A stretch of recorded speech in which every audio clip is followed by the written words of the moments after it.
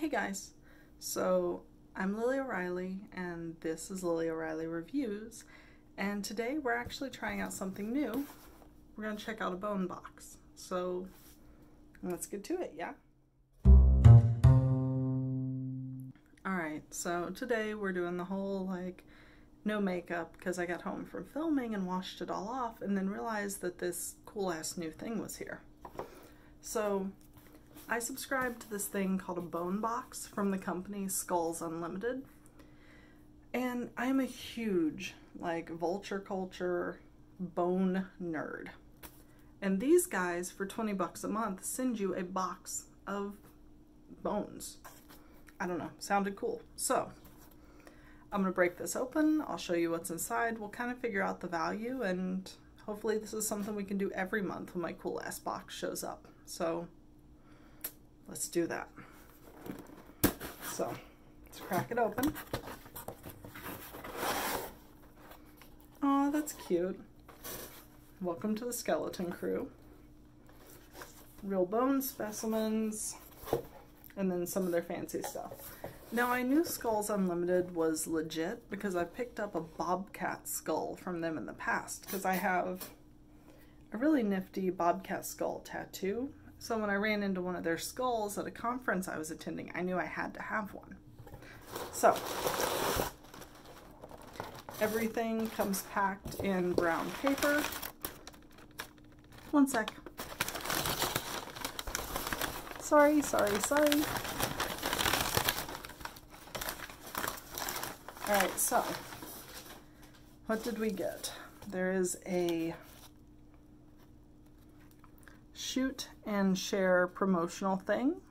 Basically, we take pictures, we hashtag it on social media, and maybe they send you a free box, which is kind of cute. It's a really cool, like, little viral marketing way to get your shit out there.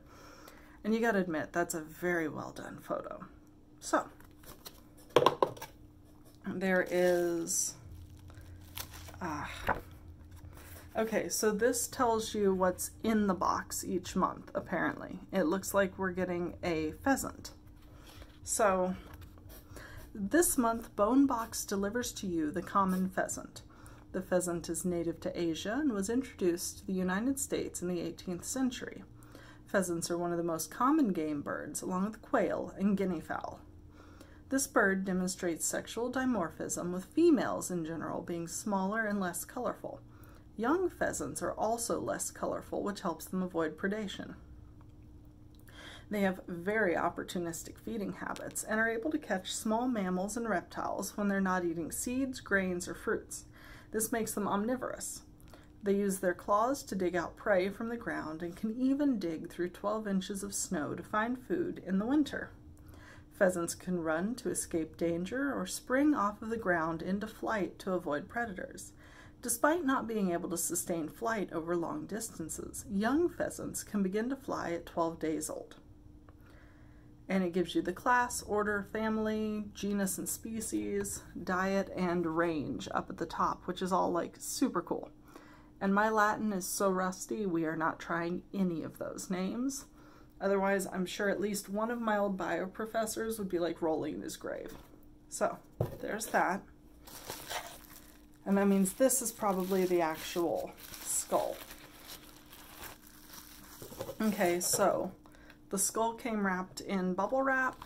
It's in a Ziploc. It's a pheasant, which apparently retails for 29 bucks. So given that the box itself was 20, like we've already surpassed the value. Um, let's pop this open.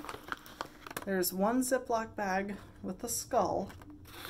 There is Oh, oh, this is cool. Okay, so they give you a little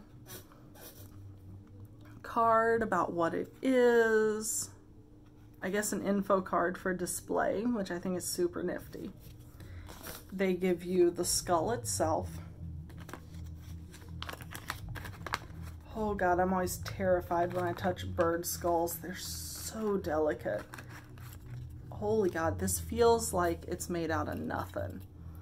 So lower jaw is of course unhinged because unless you glue them together, because I've had companies send me skulls where they've super glued the lower jaw on and I don't judge. but it is a very beautiful, very well done.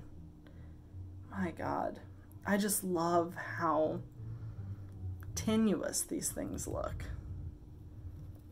And it is, I am taking that lower jaw off before something happens to it. It's wonderfully cleaned. There's no issues with discoloration. There's no grease. There's no leftover meaty bits. Like whatever process they're using to clean, I'm going to bet it's the beetles. But whatever process they're using is marvelously well done.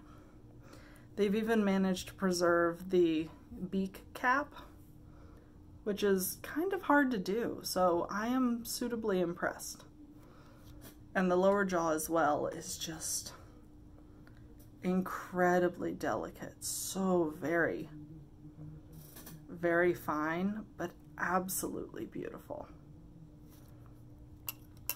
And the thing that had me really surprised when I popped it out of the wrapping is that they included the ossicles, which are incredibly hard to preserve when you're making this kind of skull. Like, there's no way I'm taking these out because they're far too delicate, and I am just, that really is the, like, that's how you can tell the company really takes pride in what they're doing is they include those little details. Oh, and then we got a little lagniappe, a little something extra. They tossed in a raccoon claw, which apparently retails for four bucks. And it's really just a, pop this out too, little run-of-the-mill, probably came off somebody's backyard trash panda, little claw. It's cute. It's not something that I am particularly interested in hanging on to as a display piece, but it's a nice little add-in.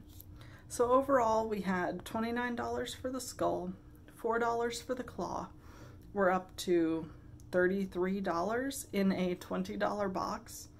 Like, I'm absolutely willing to say that this is an amazing deal, and I'm actually super excited to be part of the skeleton crew. So, so sorry, I completely spaced it. They also tossed in a super cute little decal this is 100% my kind of thing. And it actually fell out when I was putting the paper back in the box, so I'd completely missed it. So, yet another really nifty little thing from the company. All right, back to the regularly scheduled me talking thing. If you like this, I know it's a departure from my usual, but like I'm here to review shit and this is cool shit. So if you like this, drop me a comment, hit subscribe, like the video, uh, any guesses for what next month's bones are going to be? Because I'm going into this blind, so this is going to be so much fun. And yeah, thanks for being you, thanks for being here, and thanks for putting up with me bringing my weird ass shit into the channel because I wanted to share. So, bye guys.